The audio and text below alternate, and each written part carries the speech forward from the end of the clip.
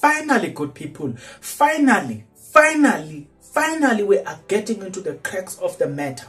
And now we are like uh, every time we are moving at least two steps two steps towards the crack of the matter. The questions that we have all been asking was um, who was financing Thabo Bester who are the politicians that were involved in Thabo Bester's in Thabo Bester's saga? Right Having asked all of those questions, we did not have answers.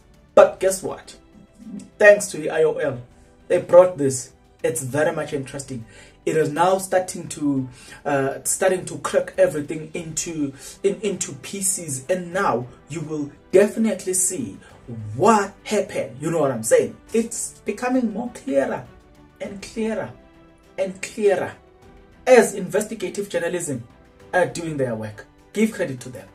Like in this video, let me unpack all of that, provided that you're interested. If you are interested, then please stick around. As you stick around, there's only one favor that I'm requesting from you guys, and that favor is that you subscribe, you like the video, and you comment in the comment section below. Why do you need to do that? You need to do all of these things because doing it, it does help out a lot when it comes to the YouTube algorithm to promote and spread this video to as many people as possible. Right. I, like I told you, we've been asking questions. What happened? Who financed Bar Baxter? Who are these politicians? I'm telling you, we are moving at least uh, two steps ahead in answering that question. Guess what? Let me divulge this information from EIOL. This is what they have for us. Who bankrolled? That's the question they asked.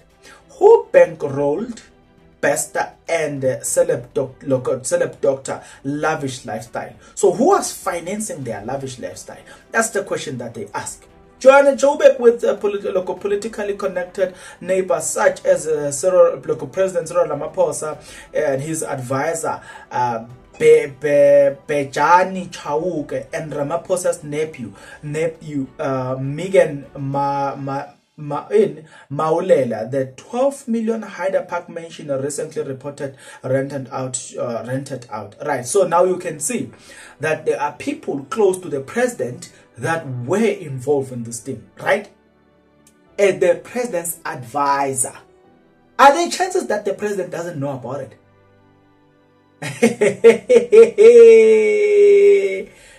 guys, guys, guys, South Africa, wake up, wake up, wake up.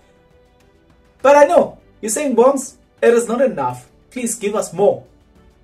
Haha, let's get into this one. According to media report, the luxury home recently returned to the market for a rental of about 700,000 a month. With listing agent Bruce Sprecher and uh, what what yeah, they are saying the property has been on the market since the beginning of last month. Right. However, questions uh, question on whose lips was who was funding the rental of the 700,000 rand was in um, was it a proceeds from Iram properties which was owned by or was the couple funded by their own political connected friends. The the Iram ne, it is the company that was owned by TK Nkwana. TK Nkwana is basically Thabo Bester using another name. So they were asking those questions to say who how, how how did this thing happen? Who financed what here? It is getting nice. It is getting more tricky it is getting more interesting. You know what i'm saying? Let's get into this one. This is what they say. Two weeks ago the sunday times reported that Thabo Bester was living large in Johannesburg under the name Katlego Tom TK Motsepe Nkwana and signed some of his lease agreement through video calls with the property manager from prison. While Dr. Nandipha Magudumane told the clients that her husband was working overseas.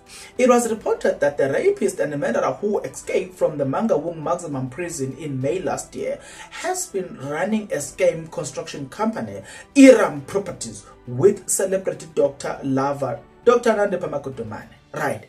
The couple, the couple convinced several people to pay millions of rent for construction local construction project but never delivered the goods. The Hyder Park property, which is uh, which occupies about uh, 3,000 meters square of land and uh, allows uh, for a, a cutting-edge approach to a traditional style, um, boasts five bedrooms, five bathrooms, and three garages. The home also has a pool, tennis court, and garden garden cottage. A source also spoke to independent media on, on condition of anonymity, said Bester was not only as was not only a scammer with a silver a silver tongue, but also enjoyed political connections, which made it possible for him to continue doing business even behind bars. We all knew and have been saying that good. He would not have pulled all these things if he was not that politically connected. It needed that he must be politically connected for him to pull all these things. Now sources are coming clearer and clearer to say this has been possible or has been made possible by the help of politicians. You will recall in the, in the beginning of the video that I stated that an advisor, President Ramaphosa's advisor, has got to do with this house. I don't know if you see what I'm seeing. let me not let me not talk much. Let's continue. Continue, my brother. Others, however, said the scam and association with Magudumane were the source of luxury through luxury through their company and Inram Property. According to GroundUp, clients of Inram Property revealed that soon after signing on uh, on paying their deposit, they started to realize that something was not right.